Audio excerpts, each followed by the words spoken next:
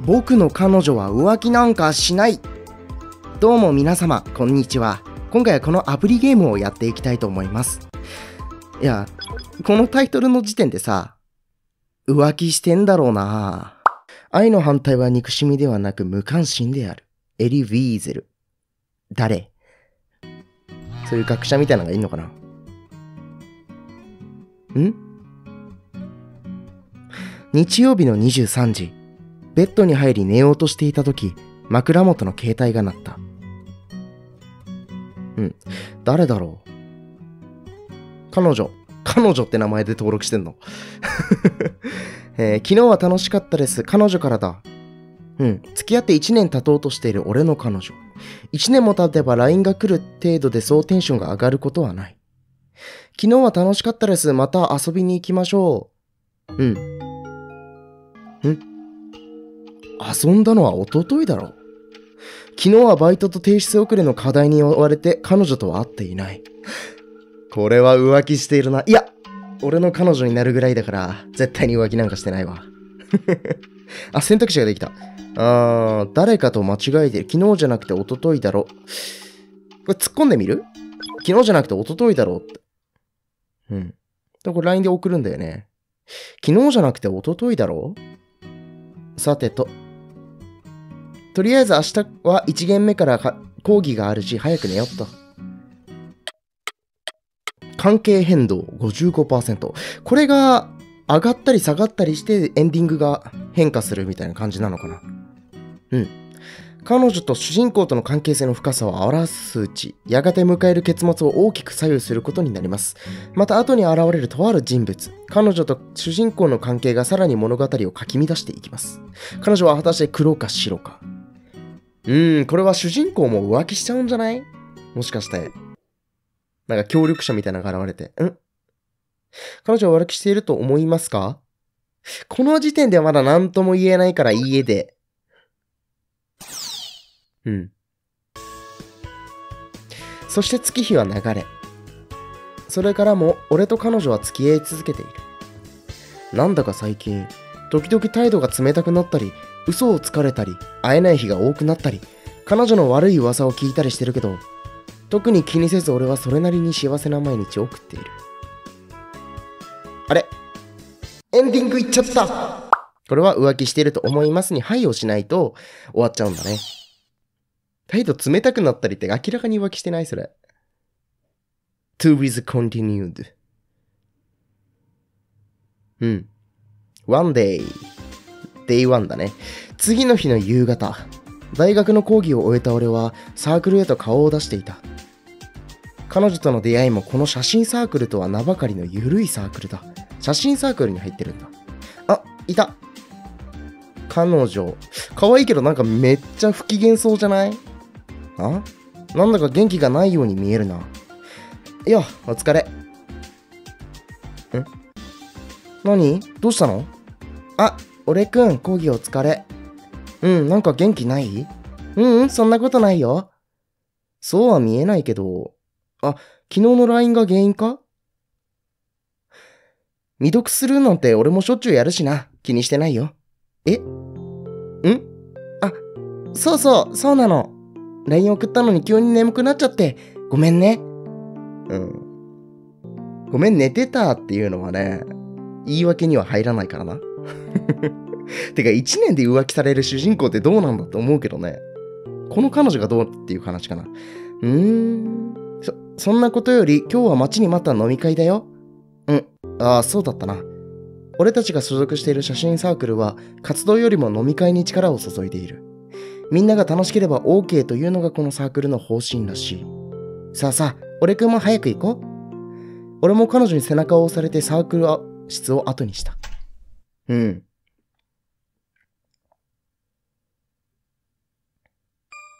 NEXT 飲み会だね。合コンみたいなものではないんだよね、多分。大学近くの飲み屋で定例飲み会がスタートした。俺は彼女の隣ではなく、友人たちと固まって座った。飲み会でも活動中でも俺たちはあまり隣同士に座らないし、ベタベタりベタベタくっついたりはしない。人前でイチャつくカップルって見苦しいしな。きっと彼女も俺と同意見だと思う。これは、あれじゃない？実は彼女はイチャイチャしたいのに、あのー俺くんがね、イチャイチャしてくんないから、それに不満を得て浮気してるみたいな。ま、聞いてないけどさ、聞くまでもないだろ。1時間ほど経過しただろうか。場は盛り上がってワーワーと騒ぐ声が店内に響いている。ふと彼女の方に目をやると、彼女がいた場所は違う女の子が座っている。あれ？どこに行ったんだろう？うーん、どうしようかな。探すか？探そうか。うん。これで分岐するんだ。あなたの選択肢によって主人公は同じ時間の中で異なった運命にたどり着きます。その辿った道筋を記録するのが分岐マップです。マップの詳細は画面右下の分岐マップから開くことができます。なるほど。えー見渡すと先輩男子の隣に座っている彼女を見つけた。彼女と先輩は大げさな身振り手振りを交わしながら楽しそうに話している。あの様子だと結構飲んでいるみたいだな。一瞬彼女と目が合った気がしてなぜか目をそらされてしまった。まあ彼女が誰と何してようが彼女の自由だ。うん。もっと嫉妬してほしいんだろうな、多分、彼女は。えー、生三つお待ち。わ、あ、あざっす。何気なく運んできてくれた店員を振り返ると、ドキリとした。これは恋の予感。やたら眼光の強い派手なめな女と目が合った。鋭い眼光に射抜かれ、俺はすぐに目をそらした。こ、怖えー。俺は派手な女子が苦手なのだ。すぐに店員は引っ込んでしまったが、心臓がしばらくバクバクと波打っていた。ギャルは苦手ってタイプか。夜が更けて飲み会もようやくお開きとなる。俺はいつものように彼女と一緒に帰ろうと周りを見渡す。あれ？彼女の姿が見当たらない。まあ先に外で待ってるかもな。これ帰っちゃったかな？その、先輩と。外に出ると少し肌寒さを感じた。先輩寒いです。二人で飲み直しませんか？おいこれは決定的瞬間じゃないか。決定的瞬間じゃないか、これは。うん。明らかにイケメンだな、こいつ。あいつ何やってるんだ？うん。ターニングポイント。呼び止める、帰る。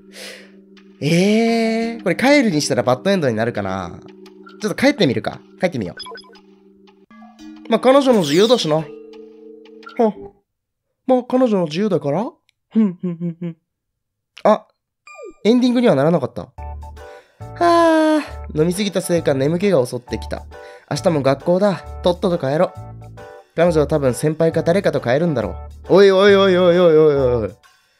あの光景を見て、あの光景を見て何も止めないの？それはどうかと思うぜ、俺くん。そして俺は彼女を置いて家路へと向かった。うん。何？ギャル。実は、あの、彼女の知り合いとかなのかな？あのギャルエンドもあるんじゃない？もしかして。彼女の浮気を突き止めて、じゃあギャルの、あの、あの女の子と、あの、一緒に仲良くしよう、みたいな。そんなエンディングがあると期待して、やっていこう。いっつ。あー、昨日はちょっと飲みすぎたな。眠い目をこすりながら時計を見ると、8時40分やばいやばいやばいやばい一次元目の授業を落とすわけにはいかない俺は身支度をそこそこに急いで学校へと向かった。遅刻しちゃったのね。うん。これ、普段は、彼、あの、この俺くん来ないから、彼女が好き勝手、こう、男を誘ってるとか、そんなはないよね。そんな予感。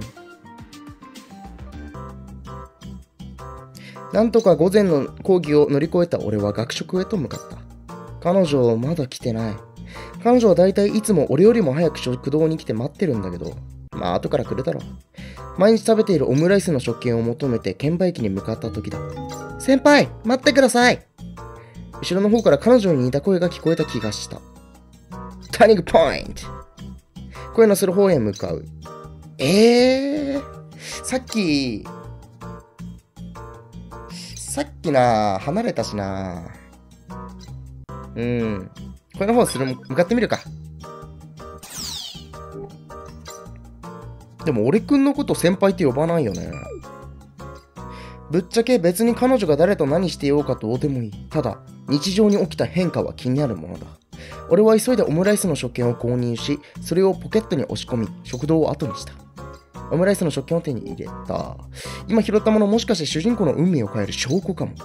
なんやって。実は俺、あの時ここでオムライス食ってたんだって言えるってこと？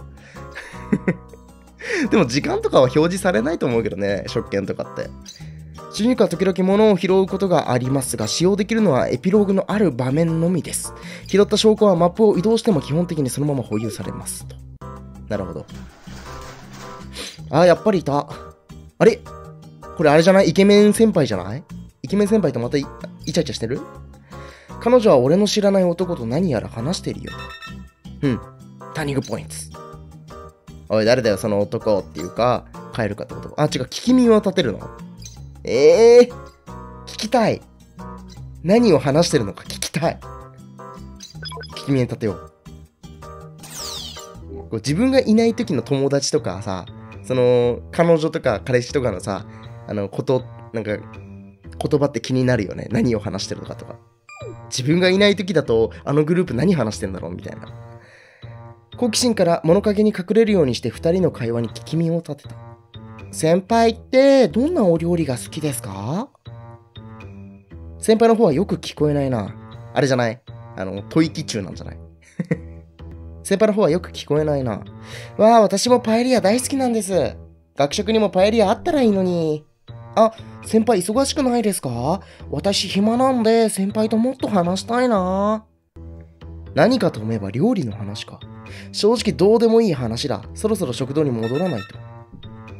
えー、戻っちゃうの？絶対この後なんか起きるって。立ち、立ち聞き続けよう。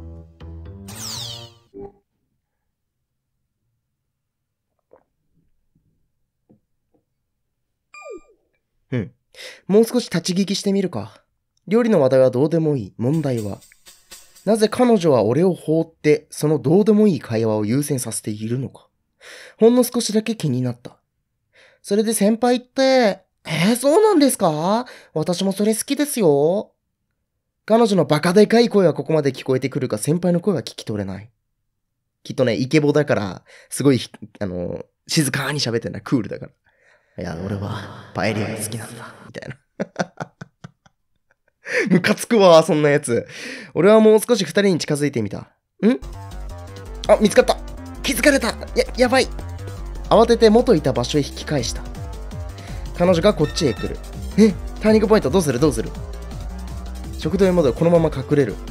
このまま隠れるまだいけるはずだ。まだいけるはずだ。まだ何か裏があるんだろう。っていうかなんで隠れてるんだ俺は。別に悪いことしてるわけじゃない。ちょっと彼女を追ってきただけだ。あれ？食券落ちてる。オムライスの食券だ。誰のだろう。オムライスの食券？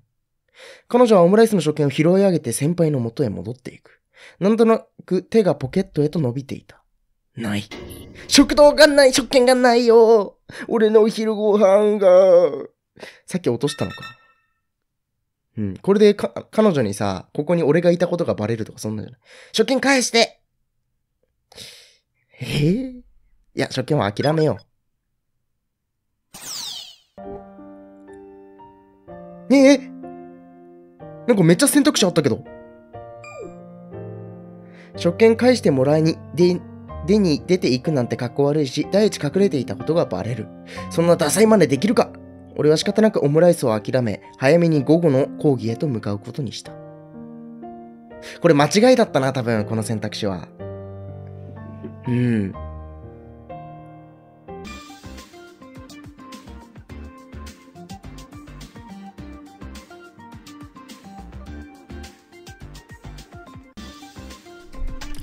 午後の講義を終え、今日もサークルへと顔を出す。お疲れ様です。ざっと部屋を見渡す。あれあいつまだ来てないのか。いつも彼女の方が先に来ているんだけどな。あ、聞いてるからもしれないけど、彼女は、彼女さん今日サークル休むってよ。確かこいつ彼女と講義が一緒なんだっけ。ん？そうなの？何か用事あったのかな？あ多分バイトじゃない？バイト？講義の後彼女さんが電話で店長お客さんとか言ってたし彼女がバイトをしていたなんて聞いたことがないぞん実はこっそり夜のバイトをしてるみたいな。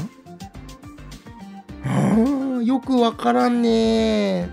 本当にこの彼女は浮気をしてるの？なんかこういうパターンだとさなんか彼氏のためにさ誕生日プレゼントのためにバイトを頑張ってるとか隠れてね。であの先輩はなんかこう男が好きそうなものを聞くために聞いてるみたいな展開がよくあるけどね。まあこの彼女は浮気してると思うけどね。へへへ。